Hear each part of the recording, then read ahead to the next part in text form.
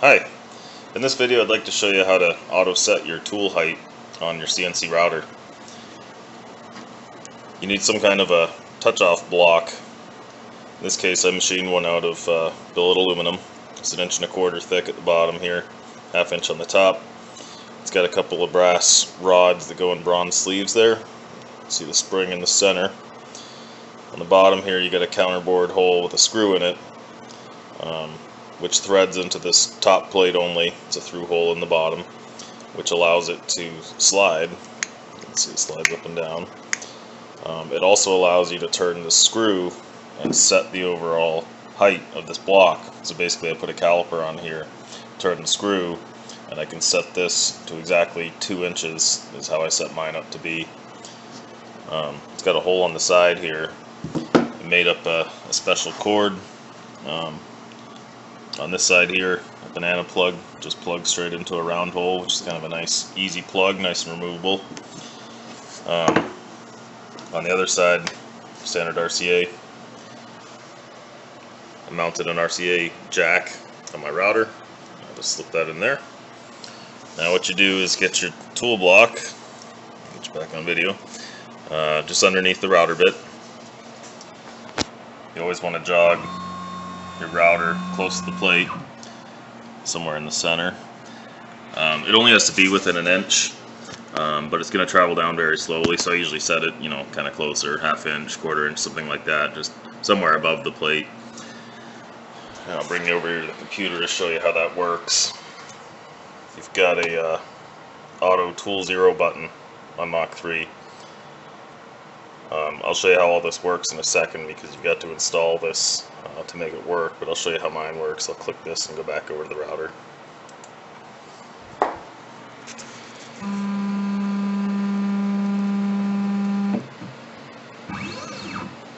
So you see it touched off the block, made an electrical contact, knew the height was set at 2 inches for the block thickness, and then retracted back to an absolute 3 inch, or 1 inch incremental up from where it was. And that's it. Now my tool is set to zero. It's about 3 inches off the table right now. Back on the screen, see Z 3.0. Now to make this work, there's a couple of things. Um, first of all, the way that this works is you have to use an input uh, from your breakout board as a probe. Um, I'll take you over here and show you in my electrical cabinet.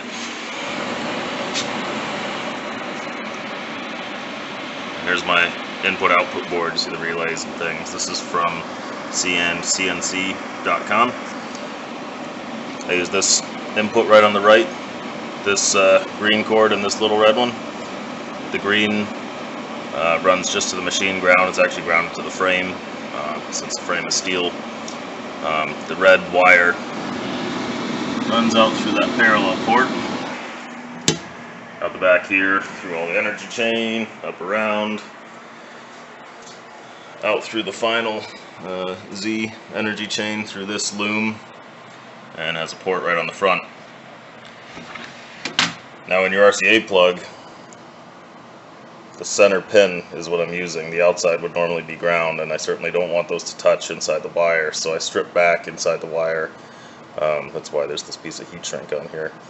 Um, the outside connectors to make sure they don't uh, they don't touch together. Because if you put the if you made the outside and the center connect, then you've just closed your circuit and it won't function. So basically, it just goes in there like that. Same on the other side. This is basically now the the positive side of my switch. I've just connected it through that RCA to here. So this becomes the positive side of the switch. The machine itself, including the router bit, are ground. So now basically what you've got is your your ground and your plus. When you bring them together, you just completed the circuit. So now the machine gets the input and knows uh, knows what to do. To make that work, go up into my uh, configuration ports and pins, input signals. Down here, you should have a probe. Now a few things here. You got to make sure your probe's active, of course, enabled. Uh, it's active low. um, and your port and pin need to be set. Finding which pin it is can sometimes be a problem, but there's a help for that in Mach 3. They have this automated uh, automated setup of inputs. If you click that, you choose which input you're looking for on this drop down. There's a probe switch on here, we'll click that one. Auto set. See what it says. Searching for signal activation. It's waiting for the switch to be closed. So what we're going to do is come here and close the switch by touching it.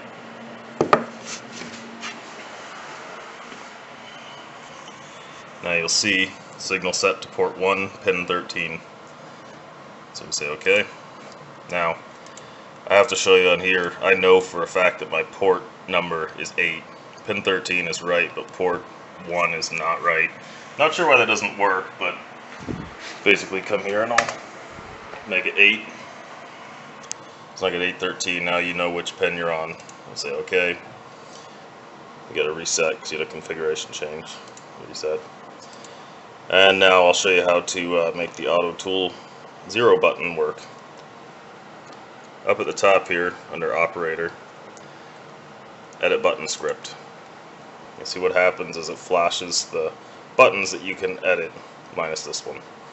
But you get the auto tool zero. You click that, and when you first open this, you'll probably just have a single line up here saying something like button not enabled and nothing under it, no code, it doesn't do anything. Uh, Mach doesn't come with this preset, so um, you basically take the code, which I'll post uh, under this video, or a link on my website at www.rhfabrication.com. Um, you can just uh, copy the code and paste it in this button over everything. Um, and you close it out. Save the changes, yes. And that's it. Now I'll show you the other side of this on the offset and probing tab up here. I think when you first get Mach 3 it comes with, it just says offsets here. I actually installed, I'll show you, um, a screen set I found on CNC Zone. Haas probe code, that's what it was called. Um, which gave me this probing screen set. Now this is nice, it does have the, uh, the tool touch off See the plate set, set to two inches on the plate thickness. Um, you've also got a, uh, a, centering routine for finding the center of a circle or touching off corners on a rectangle or however you need it. And that probably works great if you're machining metal. You're touching a metal tool or you know a proprietary probe off to your workpiece. But on wood, since I don't have the probe, the router bit doesn't make an electrical contact with the with the wood, so it doesn't really do me any good. Uh, what I do use though is this plate thickness, two inches. Um, and what I found that my Z zeroing routine from Haas did not function on my router properly and I wasn't able to edit the code on here which is why I went through and did it on the main screen on that uh, auto tool zero button. I'll just show you one other thing on there. We edit the button script again, auto tool, right here.